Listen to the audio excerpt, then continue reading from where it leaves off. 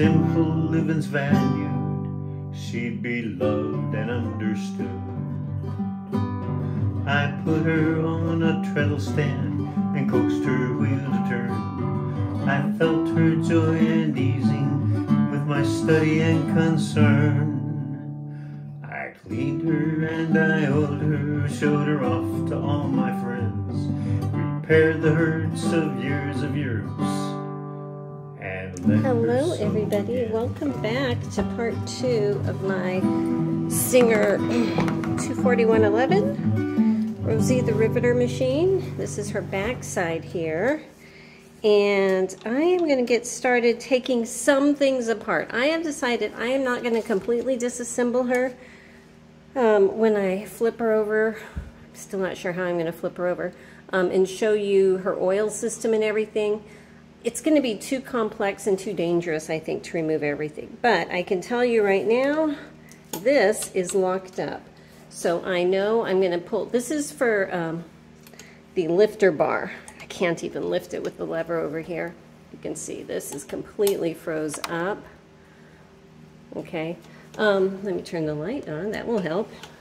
So I know I need to get this part cleaned out and I'm thinking up here, sorry, I'm thinking the reason this is frozen up is because something up here is frozen up. So my goal today is getting this disassembled, what I can up here, either disassembled or cleaned.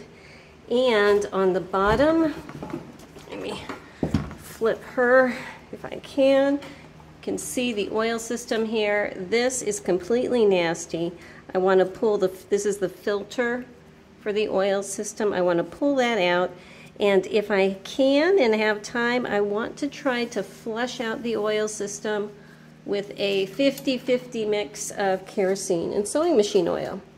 And that's my plan for today, so let's just see how far we get. So um, that lifter lever that goes underneath the table, let me turn you here, that lifter lever pushes something from below here, which pushes this bar, which is supposed to raise it which is supposed to release the presser bar. Um, I'm actually thinking that I should work on this front area here before I take this off because this is connected to something in here. So let me reorient everything and see what I can come up with. Actually, I think the first thing I'm going to do is pull off the tension mechanism. It looks pretty basic here. Um, it's very similar to the one on the 66 I just did, actually. Uh, a little bit sticky there. So, so far we've got these nasty little pieces, a couple discs. I need to unscrew uh, this peg. There is a set screw here on the side. I'm going to get my screwdriver in there to release that. So hopefully I can pull this out. So let's see here. I am just going to remove this screw entirely because I am not sure how long it actually is. I'll clean it up before I put this back. Okay, so with that set screw, that set screw goes in here and that holds it all together. You can see how nasty this is. It's the little pin that's supposed to release the tension. So that is going to be cleaned out. Um, all right, let me see what I can do to get in the nose up here. There's actually a screw here that is holding on this thread guide, and that screw is part of what is keeping this front plate closed off, I believe. So, here we go. That will get cleaned also. And uh, I got two more screws up here and down here that I'm going to need to remove. And I got to find a way that I can move her around easier for you guys. She is too big to put on my turntable, um, too long for me to tip upright. So we're just going to make the best of it here. Let me take these two screws off right here and we'll see what she looks like inside. All right, so I've got the little front piece off. Um, it's an aluminum, cast aluminum I, there's actually a cast aluminum piece that was right up here on top. I've actually already removed that just because I was curious what was going on in there. And I've actually stripped it and primered it already. I'm going to do the same with this just because, you know, this is so nasty. It's going to have to get totally clean, um, you know. But here's the little screws that go with it. I did not keep close eye on which was which, but I am pretty sure that the shorter screw was on the top and the longer screw was on the bottom. That's what I'm thinking right now. Uh, if I'm wrong, well, you know what? We'll know when we try to screw it back together. I'm going to be putting these two away separately from here, and just so I keep track, I wrote front plate, I don't know if you can see, on my little baggie. So when I come across two random screws later, I will know where they go. This is going to go somewhere else. Okay. I can see part of their very, very dry oil wicks here. So let me see if I can tip her up here so you can get a view of what I am looking at. In here, this is what we got. These parts here are part of the oil wick system. They're extremely dry, you know. This is all very filthy in here. Um, I believe I can take out the uh, lifter bar and the needle bar, but I'm going to be leaving the oil, the oil system area intact as much as possible. But I'm going to need to remove all of this because it's just, it's, it's locked up. It's locked up. I can't, I can't lift the lifter lever. So, you know, you can't sew if you can't lift the lifter lever. So, um, hmm. How are we going to do this? I'm going to start with the presser bar. It looks like I need to take this block off here. Actually, let me see if I can just unscrew this finial up here on top. Give me a second. Okay, I'm just going to hold it here. I want to show you. I'm untwisting this, and look, it's turning the entire shaft. I think that somehow this is connected to the entire presser. Okay, I just came through, so I am lifting it out, and look, the whole thing is coming out in one big piece here. Just wanted to share you that. Now down here at the bottom, is this a separate washer? I think it is. Okay, that is at the very bottom of that whole spring. There's probably one at the top too. At least it looks like it right there. Um, I will find out when I take it apart.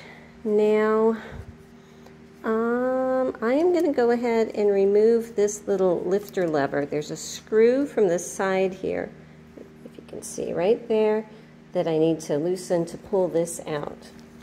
Okay, I want to show you, um, once I had that out, I just, I have my screw out here, which is this little set screw. Come on, focus. All right. Um, but it's not coming out yet. So I lift just pushed it up and now this whole piece slid up, which did not do that before. So I've loosened up this little set screw. Sorry about that. Putting it aside and loosened up this screw, okay, which has a little shoulder on it, a big flat head that was right here. And I'm going to see if I can just wiggle this block up. Um, it looks like I should be able to with the way that it moved up earlier. See, watch this. It, it actually looks like it's attached here. Somehow it's attached to this shaft. Let me see. There's a little hole right here. Oh my gosh, focus for me. There's that hole right there. I can't see if there's a screw in there or not. Let me do some poking and see if there's a way I can pull this off of this shaft. If not, I'm going to go ahead, we'll remove this needle because that's scary, take off the little screw here and the presser foot and see if I can just push that entire shaft up. I'm going to show you I was able to just pull this lifter lever up. You know, it's kind of nasty, but that's what it looks like. So it just, if I can get my camera to focus, it just pushes straight down into that hole that's in the casting and then the set screw tightens down here. This is the foot. It looks like a high, slightly slanted shank. It's definitely high. Um, I will have to try and see exactly if I need a slant type, but I know it's a high shank. Okay, I want to show, I was able to tap this off here, you know, pushing the needle bar down some. There's a groove in the back, very back here, but the bottom of this is sliding in, okay? So it was set in like that. This big hole there is where this bushing uh, sets inside that big hole like that. And I am not too sure why this hole is here. I guess I will find out later. But I'm going to go ahead and set that down with the rest of my presser bar stuff. And then this should also slide up. This is where that flathead screw I took off just a bit ago was. And there you go. So that has come off my presser bar here also now. And I'm hopeful I'll be able to pull its little growtiness out of there. Okay, I wanted to show you, I actually had to spray penetrating oil everywhere and then took my wire wheel on my Dremel, you know, and cleaned up all the nasties down here because it was not going to come through. And I'm hoping that it will now. So there we go. Yay, okay, so that is my presser bar. Um, all of these need to be cleaned a lot. Now it looks like there's one last piece that's part of that system and it's right here. And I want to show you the numbers, get it to focus, the numbers and the part number and everything. Come on, focus. There. Uh, they're upside down. So when I put this back in, I need to put it in so that those part numbers are upside down. I can lift it out. Looks like this, okay? And that's, I believe, going to help guide this up and down. That little pin, if you look here, is connected to this part, which is this whole lifter lever to be able to use your knee to lift the lifter lever. That's what that is. And look, now it's moving. So whatever was locked up, and I think it was all of the nasty on the, the bar that was keeping this part locked up. So it's good to see that that is moving now. I'm going to take this needle out. The screw is facing the back of the harp here, okay? It's in this orientation, all right? So when I'm putting it back together, I need to remember that's how it goes. So this is the screw that holds my rusty needle in. And here is my needle. Um, I did buy a new set of needles that is supposed to be sized correctly for this machine. So I'm just going to throw this one away, you know, thank you for your service, and proceed with taking apart my needle bar. It looks like there's a thread guide here um, not too sure how it's connected. I don't feel a screw right now, so I'm going to have to take a peek at that. Um, I have three screws that look like they're connected. I have one up here that looks like it's holding in a bushing, which I'm going to leave alone for right now because I'm not pulling out bushings. Then I have this screw here, which looks like it is connecting that needle bar to some other piece okay? Then I have another one down here, which is the clamp.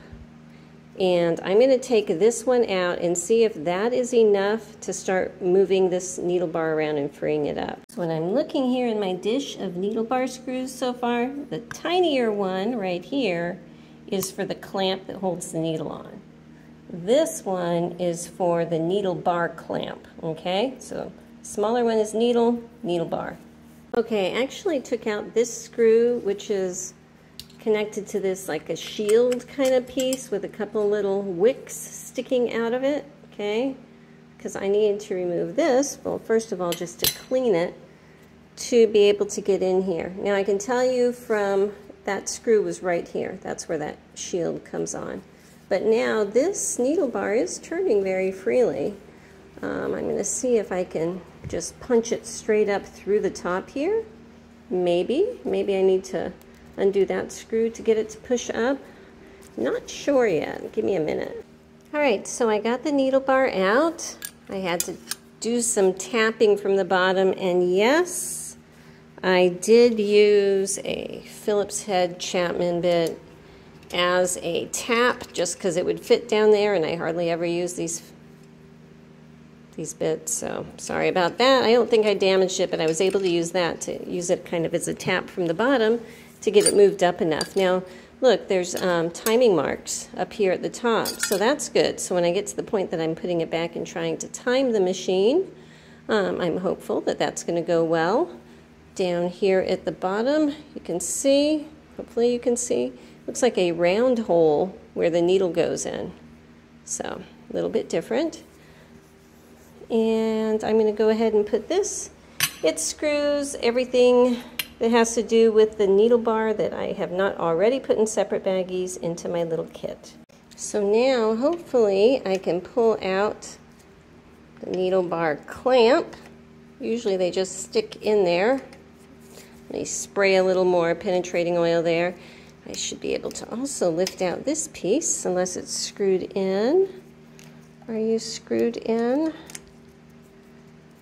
Looks like there's a pin here that is holding on to this. This is the part that when you lift the presser foot, this comes over and pushes up against the tension and releases tension so you can pull your threads out easy.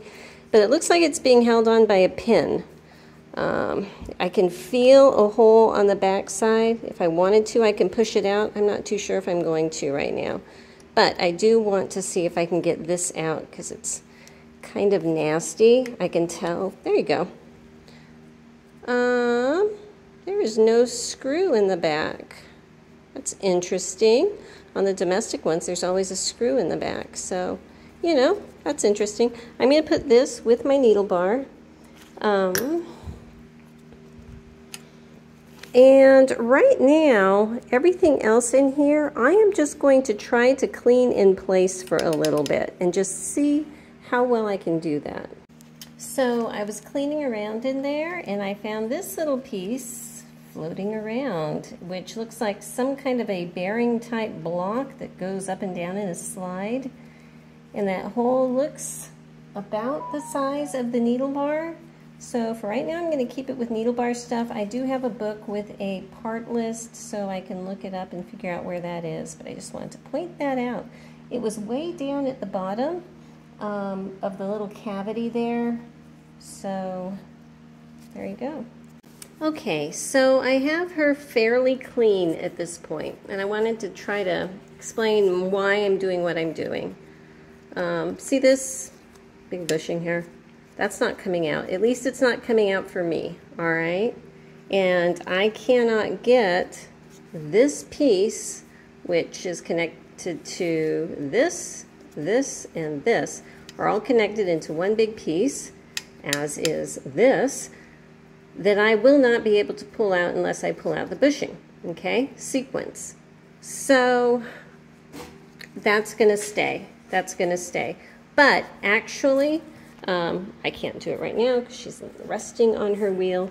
But when I turn the wheel, this is actually moving very freely right now. So I'm pretty darn pleased about that. Um, but I got it clean enough, not final polish, but clean enough in here that I feel like I can go ahead and move on to taking this piece off um, too, because I want to get that off so that it can be in the bin to be cleaned. Uh, now up here, this is what I pulled off earlier, off camera I think. Uh, this is part of the oil lubrication system. And up here, if you can see, um, this little tube right here, okay, you see that funky looking hairy mess coming out? That's from the oil system also. So it comes down here and little droplets flow down in here and keeps everything oiled up. Okay, so that will be flushed, hopefully, we'll see. I've got her tipped on her front, I guess you can say, and I am just unscrewing this piece. It's about a 5 8 inch piece. Lots of stuff going on there. I'm just going to set that aside, but that should help to loosen all of this up. Uh, can I just pull it straight out? No, there's something else here holding it. Hang on a second. Let me take a peek underneath and see what I have. Oh, there it was. It was a spring. Okay, so there's a spring under here.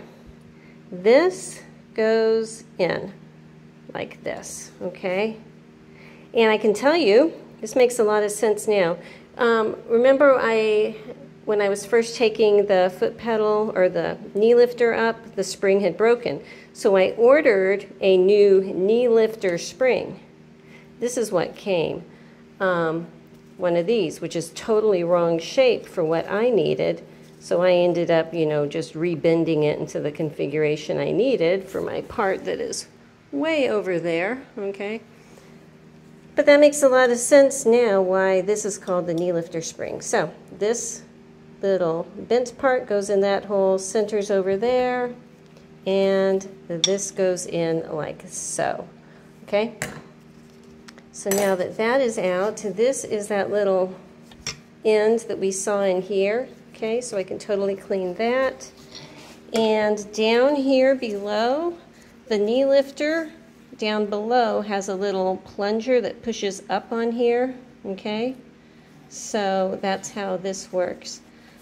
Let me see if I can just pull it straight through. Probably not. I have to um, loosen these nuts off so I can pull this little brass shaft all the way down through the bottom. Now I'm going to show you, there was a little nut. We got a few nuts here. There's a nut up against a nut, okay, like this, and then there's another round one down there. But I'm thinking that this is an adjustable area, you know, where you can raise it or lower it to adjust the knee lift. And just to keep track of it, to the top of the nut that is the, the second one, looks like it is about 14 millimeters ish 14 millimeters from the top of the thread top of the screw to where um, this one is in this one is ending so just so I can put it back together the same as it is right now that's what I've got Okay, so this is what I have. Here's this part, obviously. This is the little brass shaft. And when this came out, there was a little bushing down here that popped out also, which probably sets in this hole here.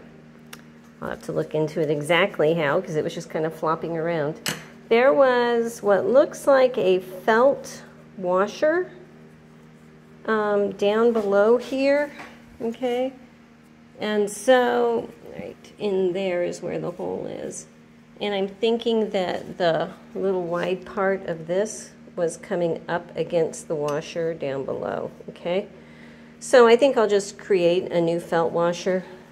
I'll cut a piece and make it work. Um, but since I took this out, now I have access to this screw. So I'm going to go ahead and take this out because that's this other plate here that I can pull out so I can clean inside the nose a little better. Okay, so here it is. You know, it was just inside there. It screws on. So I'm going to keep that, you know, with these parts. But that's going to give me a lot of access to clean this area here. And so that's going to be really helpful. Now that it's on its side, I want to show you, I can spin this very freely and it is turning really, really well. Very happy about that because I am not pulling these shafts out, you know? Yeah, this is kind of nasty and everything, but very happy about that. So that's a good day's work. I am going to go ahead and get these cleaned up um, and make sure that I remember where they go before I come down here for the other part I said I wanted to get to, which was to pull off the cover of the oil filter and work on flushing out all of these lines. So that will be a project for another day. Okay, so I wanted to show you, I went ahead and stripped down my front plate and cleaned it up. There's a little brass looking thing there that had Singer on it. I am going to put a new Singer decal over that, so I went ahead and just cleaned it down to the bare brass in there. And I wanted to take a picture here because I pulled out, this is that little nub that comes out. Here's the set screw. But I wanted to document the orientation because it's got a little curve that comes down, okay? And so where the, um, the way it was when I pulled it out was like this, okay? So here's a little oil hole for the center on the bottom, and then it was like this. Now, it's kind of odd to me because the flat part of this shaft is on the top and I would normally think that the flat part should be lined up where the set screw is, like this. that would make sense to me, but it came off the other way. I just want you to know I'm going to try it both ways. It might have rotated, you never know. But to me, it always makes more sense where the little set screw thing comes up against the flat part. But I'm going to go ahead. This will get polished up, you know, so it's shiny all the way around. And these are going to get um, the centers here masked off, you know, because I want to be able to rotate that carefully. But these are going to get primer on them. Uh, later on, I will be doing my color code. Okay, good morning and welcome to the next day. I am underneath my Rosie machine here and I am going to pull this off. It looks like there's just some flathead screws that's the cap for this and as far as I can tell from my diagrams in my book, when I pull that off, I'll be able to see an impeller in there. So that's my first step, is getting those screws off. Okay, so as soon as I got the last screw off, this whole thing popped off. Very nasty, incredibly nasty. And this is what I'm looking at. So this looks like the cap to it. All right, again, very nasty. And there is my impeller. Ah, that is what's going to, as the motor turns and the belt is turning and the gears are turning, okay, this spins also. It's like linked to the gears inside here, okay? So when the machine is running fast, the impeller is going to shoot oil in here, which is going to shoot it up this pipe, which is going to push it wherever the pipe leads in the rest of the machine, okay? Um, I did a lot of thinking last night and I have decided I am going to be putting this machine into my electrolysis tank because from what I can tell, um, it's iron, mostly iron. There is, you know, some stainless steel in there, but I think it will hold up well. My electrolysis tank will remove rust, it'll remove grease, and it will get the old paint loose so that I can remove it and repaint her. And because she is just so utterly filthy, I think that is the best way to go. I am not going to be removing everything though. Oh look, see this? That is the little lever that that part up here that we took off last night, okay? That's what lifts the lifter lever. So, you know, just pointing that out. Anyway, let me go ahead and pull the bobbin out while I'm down here. I can. You'd think I would have done that before. You know, that's really gross, so that's going to need to get cleaned out too.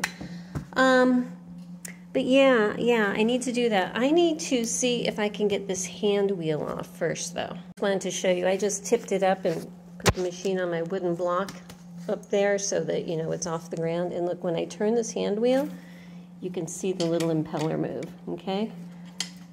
And that is directly from all of those gears moving. So that's how it works. Pretty slick.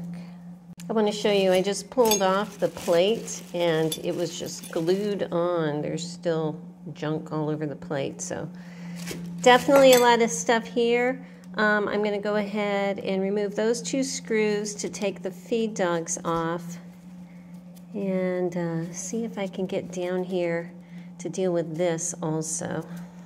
All right, I got it off. This is the underside of the feed dogs. Think that should get like a Shmoo award or something like that. What do you think, Bob? Ooh, part of it fell off already. But yeah, pretty gross. Um, I'm going to see if I can get a little bit more down here disassembled. Okay, there is a little piece right here that looks like it's blocking that racing. So I've loosened up this screw and I'm going to see if I can get this piece out. Maybe, maybe. I'm fighting it because I don't know if I'm going to be able to get uh, all of this out. I may just have to do that. Okay, so this piece just popped off. It was welded in there with glue. This is where it was, okay, just one screw holding it in. And this little nub right there, okay, you can see it's angled up just a little bit. You know, squint through the crud there. But that little nub is what is fitting right here in the bobbin case, okay? So I'm hopeful that that might loosen things up for me. Okay, so let me tell you what I've got here. I have not been successful at pulling off this hook, so the screws that I took off previously, I put back in. I'm going to let this stay in place while she is in my cleaning tank, okay? And in addition to that, I am going to leave the big balance wheel on too because I was having trouble with this. And my thought is once it goes through the tank and um, all of the cleaning and rust removal and gunk removal and everything is done, I might be able to get it off at that point. But she is moving freely, so that's good. I pulled off the sight glass and it was broken. But but I think I can get another one. Um, so I have its little frame and everything that I'm going to be cleaning off. So I'm going to go ahead and get my electrolysis tank started filling. Um, let me walk you over there. Okay, so my tank is filling up.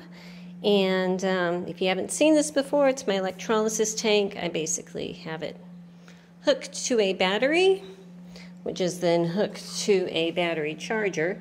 So as soon as the water is covering the top of the machine, um, I'm going to go ahead and turn on the battery charger. This battery is dead right now, so nothing's actually happening. And I'm going to be leaving her in here probably for about four days. I think that that's going to be good. Um, the water has a combination of washing soda and a little bit of TSP powder just for extra cleaning ability, you know, that seems to work well on really nasty machines. So the uh, things that are clipped to the outside are big steel diamond plate um, steel panels and then there is a big wire that's connecting them all. So you know it's just positive negative and everything like that. So next time you see her hopefully she'll be a lot cleaner and I have a lot of cleaning to do on all of her parts over there. So that's about it for today. Um, I thought I was going to be able to disassemble a few more things, but you know, sometimes it doesn't work out that way. But I think that it's a really good step towards getting her ready to put back together. And there are some pieces that I've actually already, you know, stripped off and they're going to be painted. So I'm looking forward to seeing what we can do next time. Hopefully next time I am going to be actually being able to take the machine itself, finish off any residual stripping and anything that needs to happen to that machine because sometimes the electrolysis tank doesn't pull everything off, you know, there's little pieces left. But I have had really good success with it with Godzilla skinned machines before, so I'm very hopeful. Um, but yeah, hopefully next time we'll be painting and I will see you then. Bye-bye.